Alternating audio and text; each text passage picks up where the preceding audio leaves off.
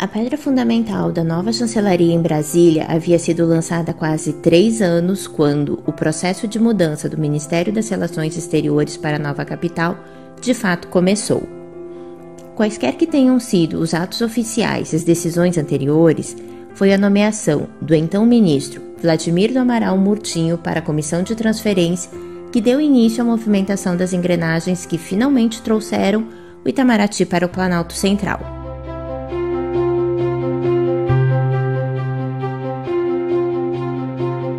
Homem de ação e entusiasta da nova capital, Murtinho dedicou-se ao projeto que mudou a face da esplanada dos ministérios.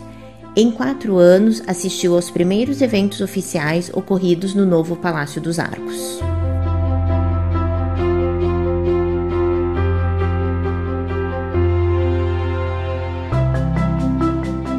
Cinquenta e cinco anos depois, o Itamaraty relembra e homenageia o diplomata repetindo sua iniciativa de franquear a entrada do palácio à população de Brasília.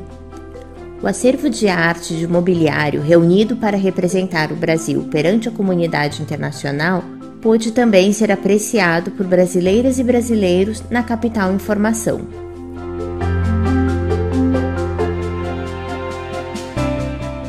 Neste 11 de junho, aniversário de Vladimir Murtinho, será oferecida visita especial com percurso estendido, contemplando áreas que não são acessíveis no serviço cívico-educativo regular.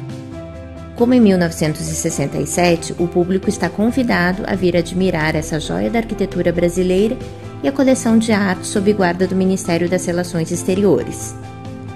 As portas do Palácio Itamaraty estarão abertas.